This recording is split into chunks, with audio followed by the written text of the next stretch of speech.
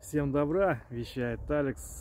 Сегодня я хотел поговорить о пожарах, которые нахлынули на Курганскую область в этом 2023 году. Сегодня у нас 16 мая 2023 года.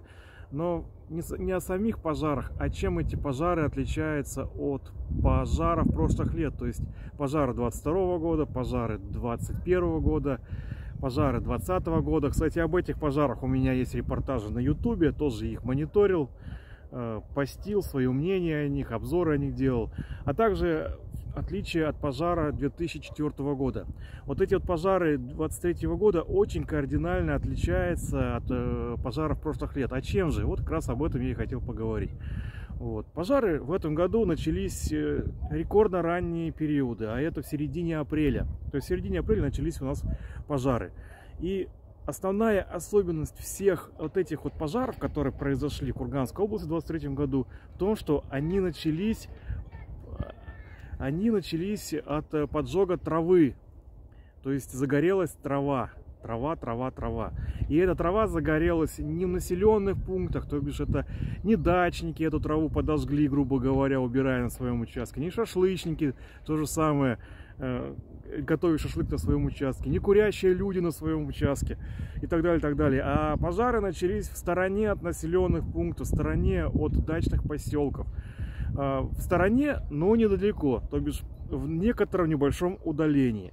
Вот так вот таинственно. Эти пожары начинались примерно в обеденное время, и примерно 14, 15, 16, 17 часам они разгорались так сильно, что широким фронтом уже сносили буквально всю, э, э, всю деревню или весь населенный пункт э, или все СНТ. Названия населенных пунктов я эти говорить не буду, вы это прекрасно знаете по новостям, что в этих населенных пунктах сгорели практически почти все дома, или их большая часть погибли, к сожалению граждане из-за этих пожаров, уж не говоря уже о гибели множества, огромного количества домашних животных, но про диких животных я, я даже и вспоминать не буду, там, там вообще мрак, там просто жесть. Так вот, эти пожары все начинались от поджога травы, ребята, не от поджога леса, как было раньше. Раньше все пожары начинались от того, что жгли лес.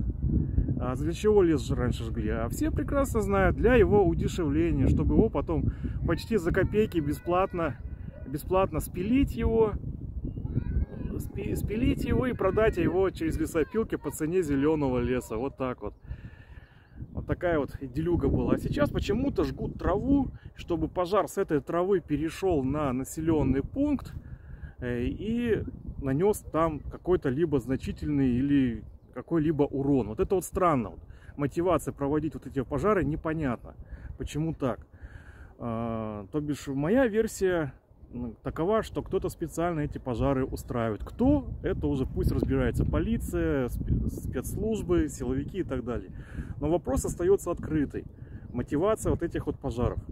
А также, в частности, хотел сказать отдельно, что по подготовке к пожарному сезону, как его называют, у нас практически никакой работы не проведена, то бишь э, никакой опашки, э, опашки дорог нету, вдоль железной дороги трава, вдоль автотрасс трава, ничего не убирается, и это все у нас как раз горит. Кстати, вот эти вот пожары, которые вот произошли, в большей своей части они шли от железной дороги. Есть некая версия, что это от выбросов локомотивов, но я сомневаюсь, что это от локомотивов происходит. Потому что локомотивы уже сто лет ходят, и как-то раньше не было пожаров от локомотивов. Вот только в 23 году почему-то от локомотивов у нас пожары начались. Так вот, э, нет опашки вдоль дорог, вдоль железных дорог, э, трава сухая вообще не убирается. И даже с каламбуром скажу, что даже мусор, который выбрасывают в лес, люди сами порой жалуются, что вот выбросили какие-то службы в лесу, люди жалуются на этот мусор, на эти кучи, указывая координаты, а потом к этим людям штраф приходит за то, что они лес посещали, короче. Даже такой же, даже такой был момент каламбурный. Вот. Но по подготовке пожарного состава это уже отдельная тема. Прекрасно знаем, что в 2020 году, в 2020 году произошла реформа по сокращению МЧС. У них сократилось где-то 570 пунктов э, опорных пунктов МЧС там какая-то у них реорганизация была. Но мы прекрасно знаем, что Э, любая оптимизация любой госструктуры это, это по-русски сокращение, то бишь МЧС у нас по-простому ослабла, было ослаблено. Вот, дальше, что я хотел сказать. Очень интересные законы э, тоже создали проблему для минимизации пожаров. Э, я хотел сказать про запрет выбора сухого леса, также про валежника. Сейчас его брать нельзя почему-то. Вот стал. Вот раньше можно было, сейчас валежник брать нельзя. Сухой лес раньше можно было заваливать и забирать, а сейчас нельзя, к сожалению. Вот. Ну, к чему это привело? А все это привело к тому, что в лесах э, накопилось огромное количество брошенной древесины, и это создало дополнительную пожароопасную обстановку на руку поджигателям. Вот так вот. Странно это все. Вот такая вещь. Ну и в частности хочу сказать отдельно про водоемы. Водоемы тоже раздали в, в частное владение, но эти частные владения почему-то не занимаются этой рыбой, еще плюс запрещают местным селянам там ее ловить, которые там по прописке живут. Сто лет живет дед, ему сейчас нельзя эту рыбу ловить, потому что какой-то хозяин-барин появился. Так этот хозяин-барин не, не, только этого деда штрафует, так он еще эту рыбу морит э, кислородом, не, не пробивая лед зимой. То бишь э, у, у, не утром, а весной лед сходит, и сотни-сотни голов рыб, тысячи голов рыб всплывает кверху брюхом. Как говорится, ни себе, ни людям. Хуже, хуже врагов себя ведут. Как говорится, хуже бандеровцев тем самым. Ну, как еще так вот с такой логикой жить? Ну и в частности, конечно же, про сухую траву. Раньше, вот я помню, в каждой деревне было по несколько сотен э, голов скота. А сейчас сколько у нас скота держат в деревнях люди? Вот сами вот поездите, увидите. Одну-два, как говорится, из десяток районов на деревне увидите, и то хорошо. Вот, сейчас не держат. А почему так? А все лишь потому, что стало это как-то то ли невыгодно, то ли закон, э, запрещающий самовыгул скота за деревни, в лесах, в полях, э, потому что это кому-то что-то стало принадлежать. Запрещаю сейчас вы, выгул буренок, э, овечек, козочек, самовыгул, то есть должно быть какое-то там пастбище, там не знаю как. Но в итоге люди отказались от э, содержания своего личного скота, предпочитая это покупать у кого-то там и так далее. То бишь трава, многочисленная трава, которая раньше была, она стала никому не нужна. А раньше я помню, когда был маленький, я слышал, что мужики чуть ли не дрались из-за того, что кто какой будет лук выкашивать. Выкашивали не только луга, но и болота даже. Сухие болота выкашивали, выкашивали прибрежье озер.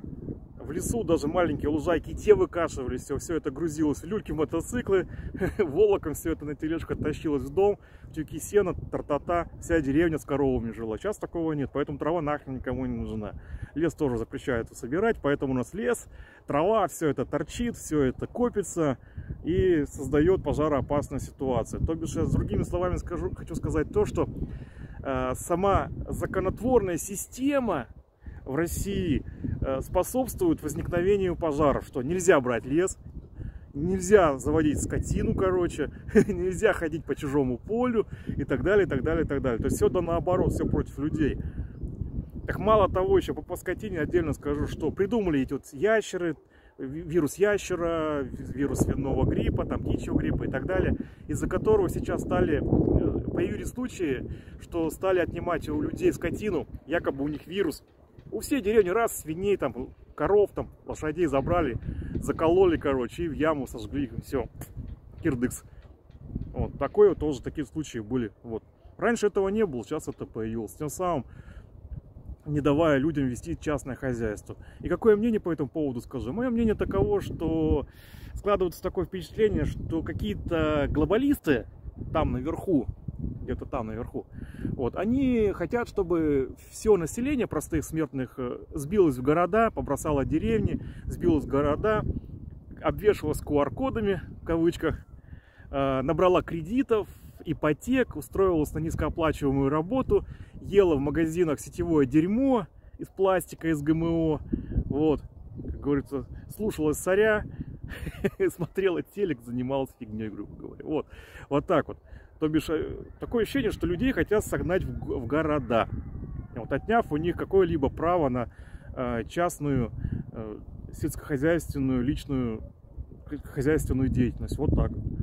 Вот. Всем добра, вещал Алекс 16 мая 2023 года.